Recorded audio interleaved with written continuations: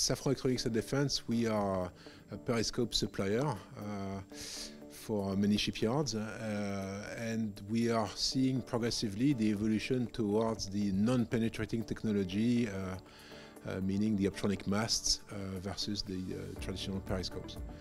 So we are up now to our third generation of masts that are in service with many platforms.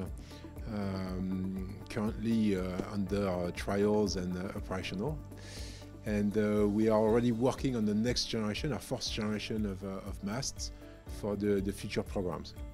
Uh, a significant program is the, the Australian Future Submarine project, SEA 1000, for which we are currently working with Australia to define the, the future system characteristics.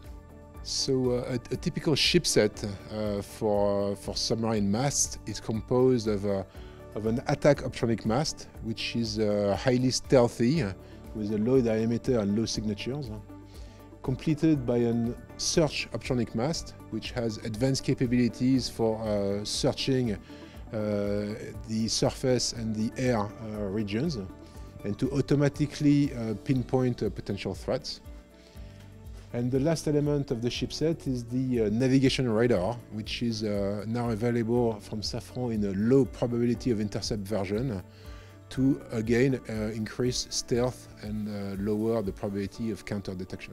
Currently, we have uh, many submarines undergoing trials.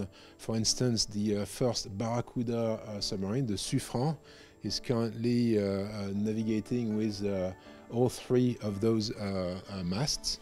Okay. Uh, simultaneously, we have uh, now the uh, P75 project in India, which is fitted with a similar shipset, except the attack mast is replaced by an attack periscope, traditional attack periscope. And we also have uh, two other uh, submarine platforms on which we have fitted our masts, the, uh, the search mast.